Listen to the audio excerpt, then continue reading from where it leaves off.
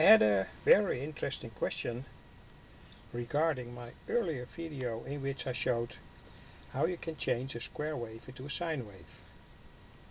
And the question was, is this also possible on a lower frequency? Let's say 50 Hertz or so. And I made this circuit.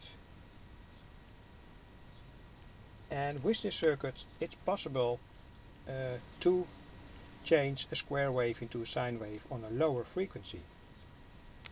And as you can see, I added here a forced stage.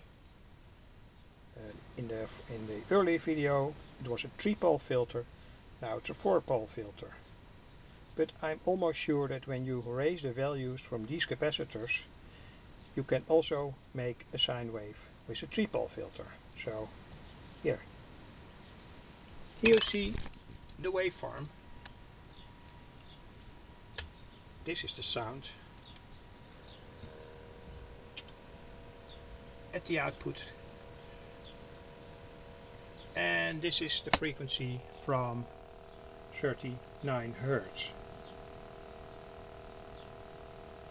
And I go up now. Here's the filter by the way. You see the higher value capacitors that bridge the 10 nanofarad capacitors and the forced pole that's here. I go now to higher frequencies with the square wave oscillator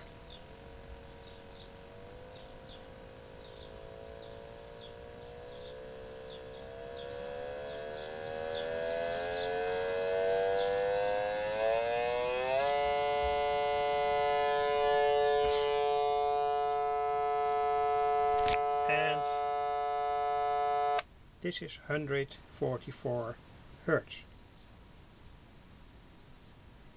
So it's very well possible to use this circuit on lower frequencies.